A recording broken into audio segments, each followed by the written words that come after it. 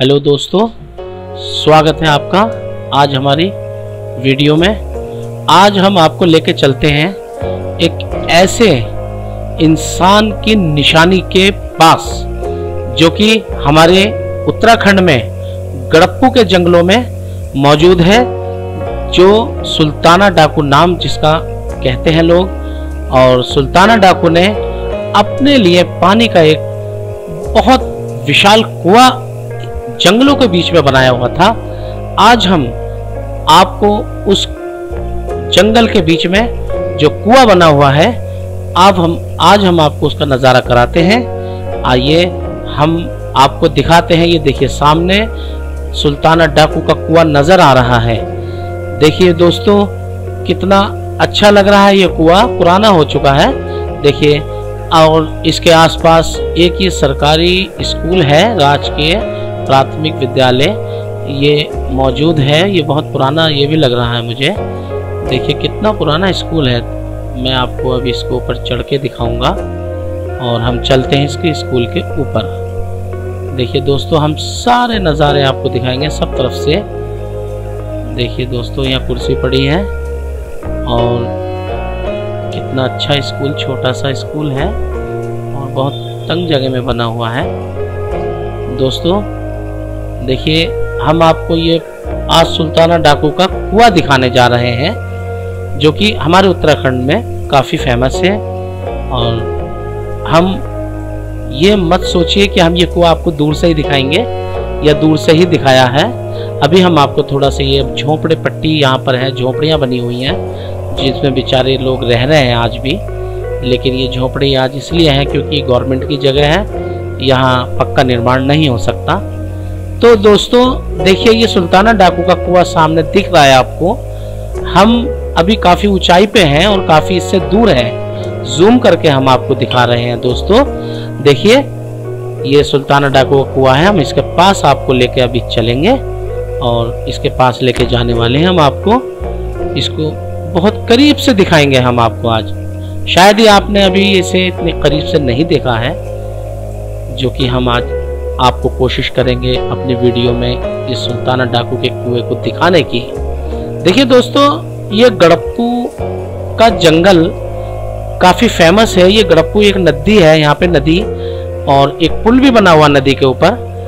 तो बहुत बड़ी नदी है ये और ये बीच जंगल में से होकर के निकल रही है। इस नदी में ही कभी सुल्ताना डाकू ने अपने लिए और अपनी टीम के लिए, जो डाकुओं की टीम हुआ करती थी, उनके लिए यहाँ पर कुएँ की व्यवस्था की थी ताकि उनको यहाँ पानी मिल सके। और काफ़ी पुरानी बात है ये। सुल्ताना डाकू को तो यहाँ दुनिया ही जानती है, खैर। देखिए, हम आहिस्ता आहिस्ता इस जंगल से चल रहे हैं। कितना घना और ख़तरनाक जंगल है यहाँ पे। कोई जानवर भी आ सकता है दोस्तों। हम अपने बहुत कोशिश कर रहे हैं कि हम सुल्ताना डाकू का कुआ आपको बहुत एक एक ख़ास चीज़ आपको हम दिखाएँ। देखिए दोस्तों, हम पहुँचने वाले हैं।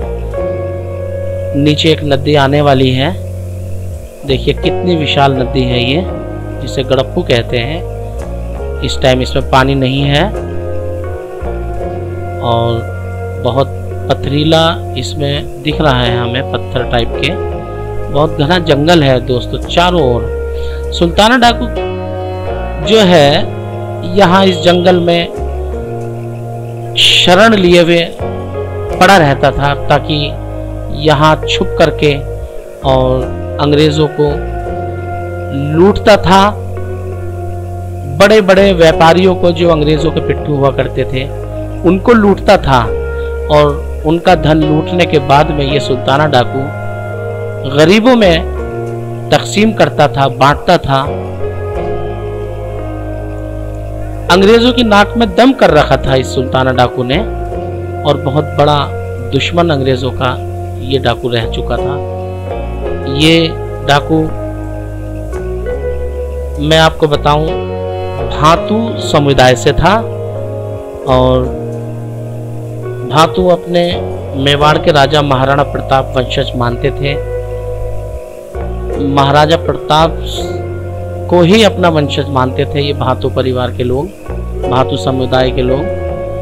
और एक चीज़ और बताऊँ, सुल्ताना डाकू ने अपने घोड़े का नाम भी चेतक ही रखा था, जैसा कि महाराणा, राजा महाराणा प्रताप जी ने अपने घोड़े का नाम चेतक रखा था। इस डाकू ने भी अपने घोड़े का नाम चेतक ही रखा था। देखिए, दोस्तों, हम कुएँ के बहुत नज़दीक आ चुके हैं। और मैं विस्तार पूर्वक आपको ये कुआँ दिखाना चाह रहा हूँ। देखिए, बहुत कोशिश के साथ मैं ये कुआँ आपको दिखाने की कोशिश कर रहा हूँ। दोस्तों, काफ़ी ऊंचाई है यहाँ पे, नदी के किनारे पे। मैं चढ़ने की कोशिश कर रहा हूँ इस समय यहाँ पे। देखिए दोस्तों, मैं चढ़ चुका हूँ यहाँ पे और इस कुएँ के और ज़्यादा करीब मैं पहुँच चुका हूँ। देखिए, ये पेड़ इस कुएँ के बीच में पेड़ इस कुएँ के दीवार को तोड़ करके बाहर निकल चुका है। और देखिए किस तरीके से पेड़, कितना विशाल पेड़ है ये।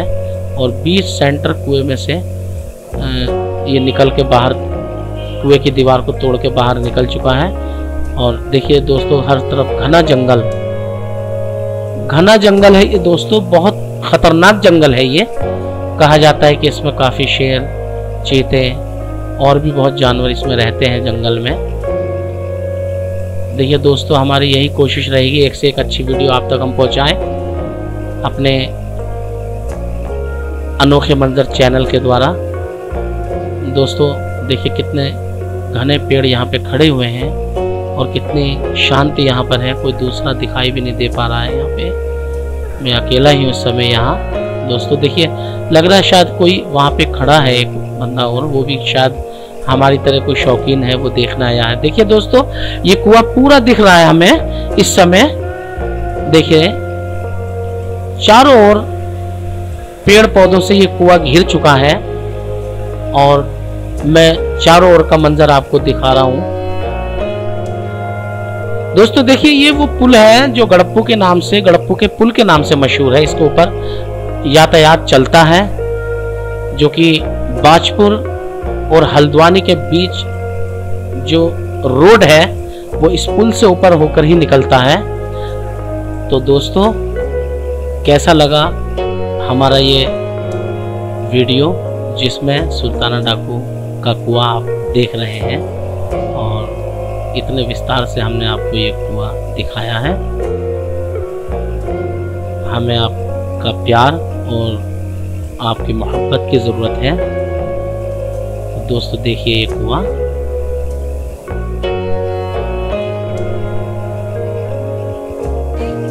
दोस्तों, आज हम आपको लेकर के आए हैं बाजपुर से 20 किलोमीटर पहाड़ साइड में, गड़प्पू जंगल में।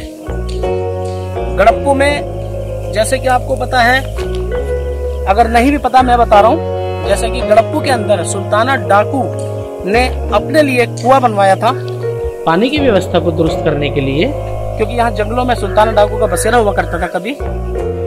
तो दोस्तों उम्मीद है आपको हमारी ये वीडियो पसंद आई होगी और आप हमारे YouTube चैनल अनोखे मंजर को सब्सक्राइब करें ताकि इससे भी अच्छी अच्छी वीडियो हम आपको दिखा सकें।